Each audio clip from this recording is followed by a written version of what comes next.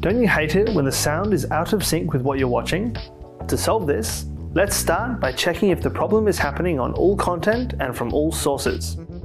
For example, is it happening on any apps, maybe even specific apps, or also on devices like games consoles, Blu-ray players, or content from a USB? This is because it might be a bug in a particular app.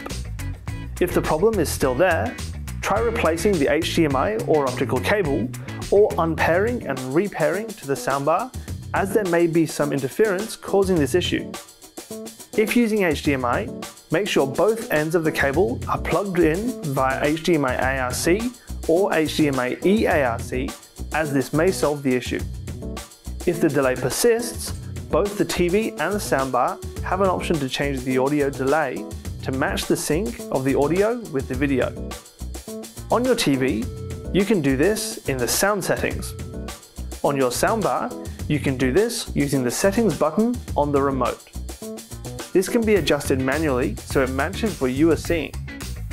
If you still need help, please contact our online live chat team or call us on 1300 362 603 to get some more support.